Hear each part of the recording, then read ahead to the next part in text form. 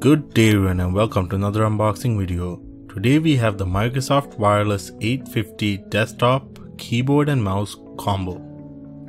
This keyboard and mouse combo is a great budget friendly option if you want to keep control of your PC without the hassle of wires. It's great for use in home theater based computing where you may not always be sitting directly in front of your PC. Let's take a look at the back of the box to see some of the highlights of this project.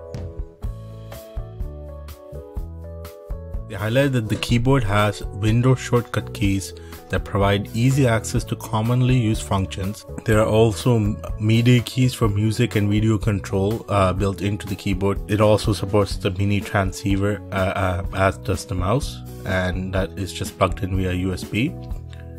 The mouse is designed to be suitable with both left or right hand use. The mouse also has a built-in area for the transceiver to be stored at the bottom. So let's get inside the box to see what we have. Uh, we need to cut open this uh, tape to open the flap. Once it's open, the flap can be opened just by opening the locking clip on the box and then flipping open the lid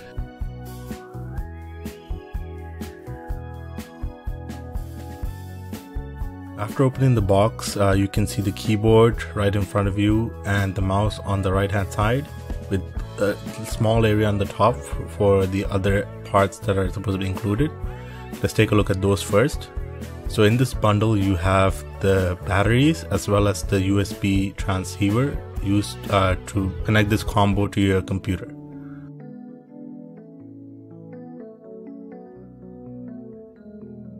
So first let's take a look at the batteries. Uh, they've provided uh, two Duracell AAA batteries for the keyboard as well as a single Duracell AA battery for the mouse. Uh, the keyboard batteries will last you approximately 8 months, uh, but it does vary depending on your usage. Here is the USB transceiver uh, used to connect these key, uh, the keyboard and mouse to the computer. Uh, this is paired to this specific set of hardware uh, right at the factory. You need to be careful not to lose the receiver, otherwise this keyboard and mouse will uh, cease to work and also cannot be paired with other devices as it's not a unified receiver.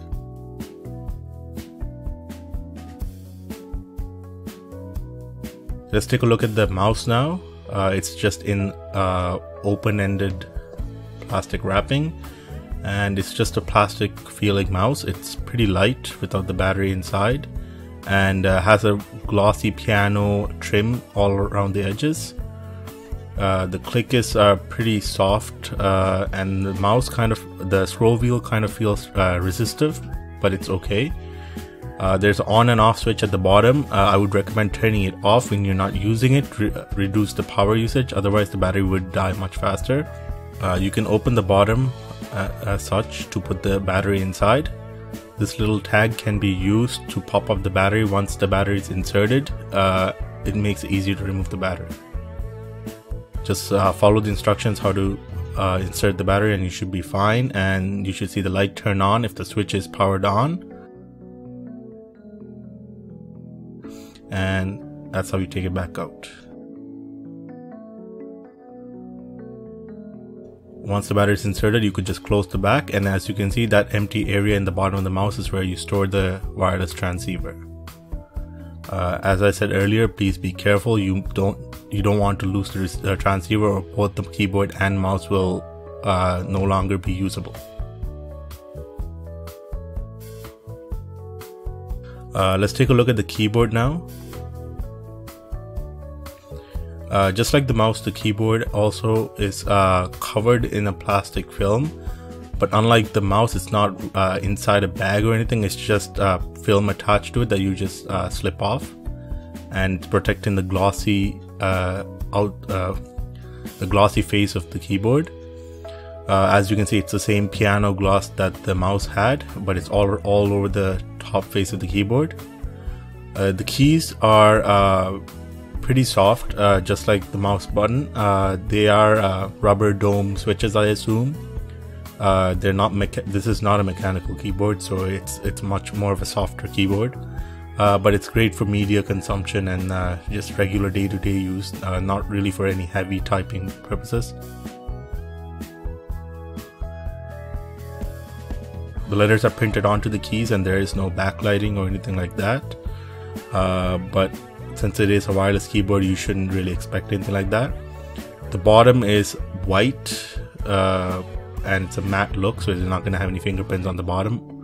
And it does have two uh, stands so you, you can stand it up if you want. The batteries go at the bottom uh, the two AAA's and again insert them based on the instructions to, uh, to ensure that they're working correctly and uh, this should la- these batteries should last you much longer than the mouse ones.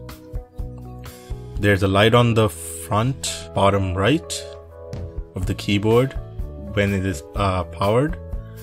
And this light indicates that it, this light indicates when it's first turned on and also it'll indicate when the batteries are low uh, in addition to this there's uh, the regular manuals that you'd find a quick start guide and other warranty information uh, from this product uh, that's pretty much it for this unboxing as usual, please remember to like this video, subscribe to our channel and check out our other videos. And please share this with your friends. Until next time guys, peace.